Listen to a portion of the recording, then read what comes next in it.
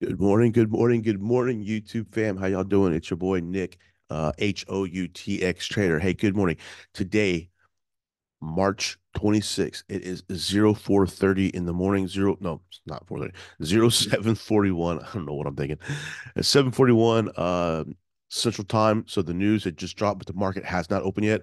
We're going to break down how I took this gold trade, guys. Okay. This is just for training. This is not for uh, financial advice. If you need financial advice, please go see a financial planner. So let's break down this trade real quick. Let me share my screen. All right. Bingo. Here we go. Look at this gold trade we took, guys. Let's go to trading view. There it is. Okay. I preached to you guys over and over that gold loves a 78.6.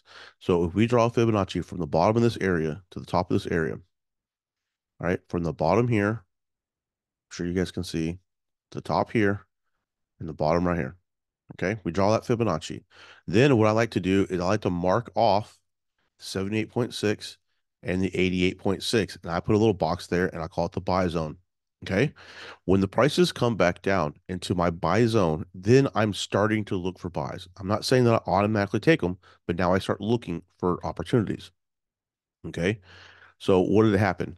I seen this 78.6 get hit and pushed off, and I did not catch that entry. Or did I? No, I take that back. I did. Which one I did not catch was this one. I did not hit this entry because it did not hit my 78.6. And at the same time, in the one hour time frame, I see that it's not oversold on the RSI. So I'm patient. I see it pump up and then I see it come back down. Also, this is only the first leg of the Elliott wave. Okay, that's leg one. So then we, we see a retracement and now we see another push down. There is leg two. Leg two tapped me into the trade. Okay, right there. We got in that trade right there, 78.6. Also, the RSI is now almost oversold. If we come down to the 30 minute, it is oversold on the 30 minute right here and right this the bottom circle we have. Okay. Now I could have been a little bit more patient, but I took that entry. Now what happens? It retraces and gives us the third leg of the Elliott wave. Okay. When it does that, now it's divergent. On this second touch right here, the one I got in, it was also divergent. If you see, um, let me expand this a little bit more. You can see that this bottom is higher than this bottom. So this is lower right here. This is higher but the price is going in the opposite direction. This price up here is higher and it's getting lower. So it's continuing to sell, even though the price and the strength of the sells is getting smaller. The real entry would have been this one up here, this third touch, and would have been on the third touch of the RSI. It also set up a nice little trend line down below. Okay, so let's just uh put the RSI back to where it belongs down here at the bottom. And that is it, guys. We took that entry and we nailed it. We, we I was actually on a Friday. It popped off. It gave us a break of structure, which is giving us confidence to hold the trade. I was getting kind of worried um, that perhaps um, perhaps this is going to be uh, is going to break down below because it's setting up liquidity down below. But I, I held it and woke up this morning and boom, took off. So again, I TP'd one already now. I, I know that I have it here. I went ahead and closed it out this morning here because I'm sure this is probably going to retrace a little bit. Uh, I see this order block, the bottom of the order block, and actually, if you look at that that wick, the bottom of this area here, these wicks, the price came up and touched it. So it came in and got in these wicks. Also, you guys know that I teach uh, kissing candles, which this little candle guy right here. And if you look, that's actually the bottom of that wick. Came in, touched the bottom of it. So I closed out one third of my position and I left the two thirds going because I think it needs to. It's going to continue to go up, so I need to have uh, this position to continue to run. But that's how we took that entry. 78.6, 30 minute came down. It was oversold. It was also divergent.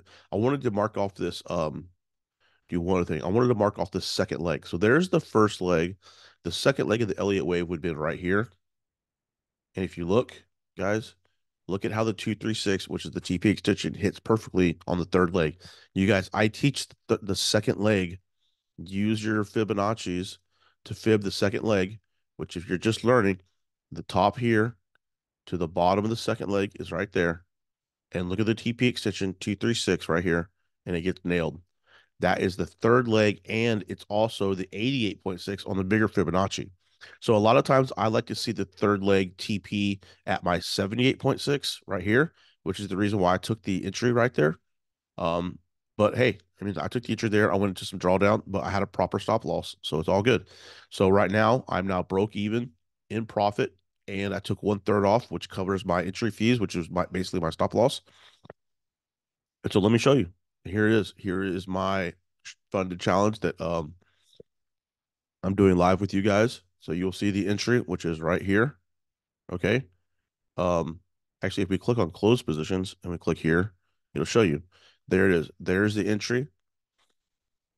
We woke up this morning, closed out one third of it, which is not a lot, guys. I mean, we're, we're only working on ten thousand dollar account. I closed up 27 bucks.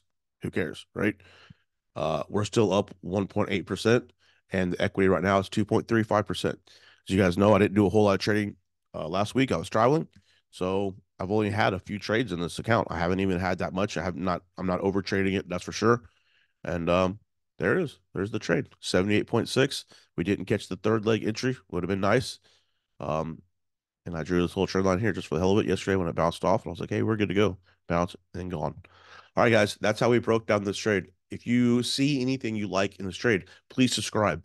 Please, please like the video. If you have any questions, please comment. I'll make a video or I'll try to get back to you and answer those questions. Right, guys? So help me do, do me a favor, help me grow this channel. Uh, I'm not promoting anything. I'm not selling anything. All right. All I'm asking you guys to do is hit that button. And if also, well, since we're here, if we come to the dot card, guys, I'll put this dot card in the description, the link to my dot card.